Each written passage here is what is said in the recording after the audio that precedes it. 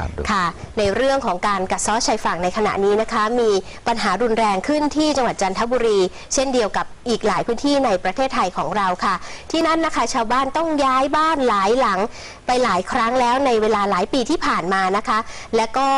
ในการคำนวณกันว่ามีการเสียพื้นที่ไปปีละกว่า 700 ไร่แล้ว เราจะไปติดตามเรื่องนี้จากคุณจิรพรคำภาพันธ์ค่ะ ขณะนี้ดิฉันอยู่ที่หมู่บ้านคลองหกอำเภอขลุงจังหวัดจันทบุรีค่ะ ซึ่งภาพที่เห็นทางด้านหลังของดิฉันขณะนี้นะคะ คือบ้านของชาวบ้านนากุ้งค่ะ ที่ได้รับผลกระทบจากการที่คลื่นกัดเซาะชายฝั่ง จนทำให้ชาวบ้านนั้นต้องย้ายถิ่นฐานไปอยู่ที่อื่นค่ะ นั่นก็เป็นสาเหตุสำคัญนะคะ ที่ทำให้ชาวบ้านที่นี่ตระหนักเห็นความสำคัญ ที่จะรักษาระบบนิเวศธรรมชาตินั้นให้กลับคืนมาสู่ปกติค่ะ เพราะพวกเขาไม่อยากย้ายถิ่นฐานไปอยู่ที่อื่น รวมทั้งพวกเขาอยากให้วิถีชีวิตที่เหมือนเดิมนั้นกลับคืนมาโดยเร็วค่ะ นี่คือซากบ้านที่เหลืออยู่ หลังถูกคลื่นกัดเซ้อพังเสียหายไปหลายหลังเมื่อปีที่ผ่านมา ชาวบ้านจำใจต้องย้ายบ้านไปอยู่ที่อื่นหลายครอบครัว เพราะสภาพอากาศเปลี่ยนแปลงไป มีคลื่นลมแรงขึ้น และระดับน้ำทะเลเพิ่มสูงขึ้นทุกปี ผู้นำหมู่บ้านนากุ้งบอกกับทีมข่าวไทย PBS ว่า บ้านหลังนี้ไม่ใช่บ้านหลังสุดท้ายที่ต้องย้าย แต่ชาวบ้านคลองหกและบ้านนากุ้งหลายครอบครัวกำลังเตรียมจะย้ายบ้านไปอยู่ที่อื่นเพิ่มอีก เพราะชาวบ้านสำรวจพบว่า พื้นที่ชายฝั่งทะเลบริเวณนี้ ถูกคลื่นกัดเซาะเสียหายไปมากถึง 712 ไร่ต่อปีค่ะผู้ใหญ่คะจากผลกระทบที่เราได้รับที่หมู่บ้านคลองหกนี่ค่ะ จากการถูกคลื่นกัดเซาะชายฝั่งตรงเนี้ยมีอะไรบ้างคะครับก็ปัญหาอันดับแรกคือเรื่องที่อยู่อาศัยนะฮะหลังจากที่เอ่อ การจะเคาะชายฝั่งเพิ่ม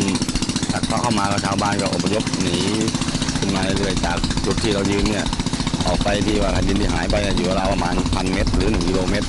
นะฮะก็มีการอพยพชาวบ้านหนีไปเรื่อยๆเรื่อยเรื่อยก็เข้าไปอยู่ในเขตป่าสงวนแล้วตอนนี้ครับ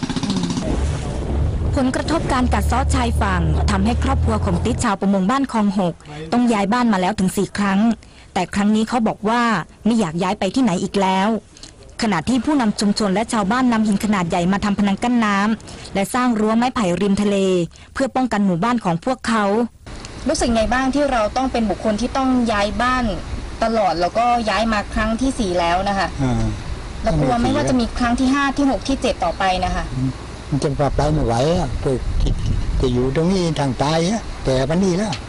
อืมเขาว่าไปยกไหนไหนนู่นหาที่ยกกายกายวัด จะอยู่วันนี้แล้ว เราจะอยู่กี่วัน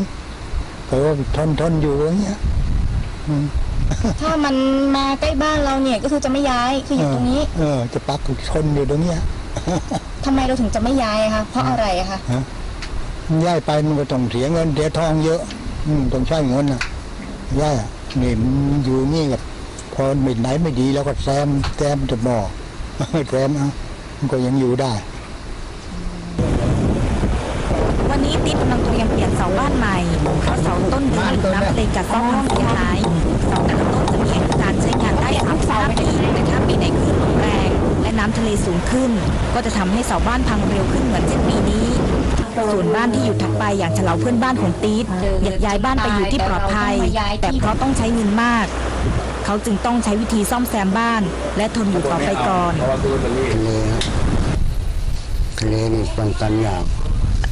มัน คืนนี่มันมานะฮะมันมาเนี่ยทั้งคืนทั้งวันทั้งเดือนทั้งปีทั้งทั้งเดือนเดือนอะเราสู้ไม่ไหวแล้วแต่ว่าถ้าอย่างนี้ใครช่วยก่อนเราอย่างนี้ชูไฟก็ต้องตรงนั้นนะแล้วก็ยกกระหน่ำเล็กๆนี่เอาเราอยู่ยาอยู่ยกก็โตหมดยาลูกกันจนมันไม่ถามถึงปัญหาตรงนี้ว่าเราได้มีวิธีการป้องกันเพื่อไม่ให้ลูกบ้านของเราย้ายถิ่นฐานไปอยู่ที่อื่นไหมคะ มันก็ไม่มีวิไม่มีทางไม่ไม่คงไม่มีวิธีการนะฮะก็แต่ช่วงประมาณสักสองปีที่แล้วก็มีสี่บริษัทออกส่งทางราชการก็ส่งมาออกแบบสำรวจว่าความเป็นไปได้ เราจะสร้างสิ่งก่อสร้างยังไง หรือสิ่งก่อสร้างแบบไหน ก็มาดูมานั่งวิเคราะห์ดูกันชาวบ้านมานั่งวิเคราะห์ดูกันว่าเออเราจะผมควรจะทำไง ผมก็มีแนวความคิดว่าผมควรจะต้องปลูกป่านะฮะปลูกป่านี่หมายถึงว่าปลูกห่างจากชายฝั่งเข้าไปเนี่ย โดยประมาณสัก4ถึง500 เมตร เพื่อเป็นกำแพงแนวป้องกันคลื่นและกันคลื่นกันลมนะกันลมชะลอลมไว้อย่าให้ อย่าให้ลมพัดเข้าฝั่งแรงนะอะไรแต่ผมทำมาเนื้อมีเนื้อที่อยู่ 350 ไร่จะรู้สึกว่าเขาได้ผล 50%แล้วครับ ร่วมรองผู้ว่าราชการจังหวัดจันทบุรี กล่าวในงานสัมมนาโครงการเสริมสร้างความสามารถ ในการรับมือกับผลกระทบของการเปลี่ยนแปลงสภาพภูมิอากาศ ในพื้นที่ชายฝั่งเอเชียตะวันออกเฉียงใต้ว่า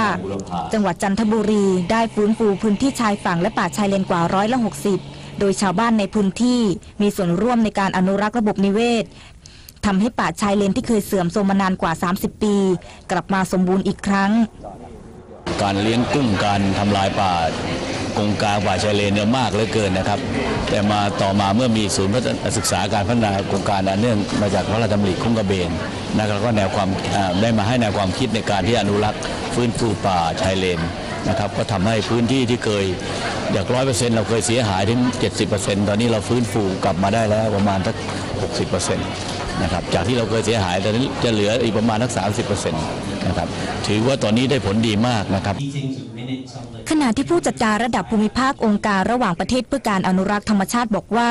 การกัดเซาะชายฝั่งเกิดจากสองสาเหตุ คือจากธรรมชาติและจากการกระทำของมนุษย์และจากการประเมินความสมบูรณ์ของระบบนิเวศพบว่า ประเทศไทยยังมีระบบนิเวศสมบูรณ์ปานกลาง ถ้าเทียบกับประเทศกัมพูชา ที่กำลังประสบปัญหาเช่นเดียวกันกับประเทศไทย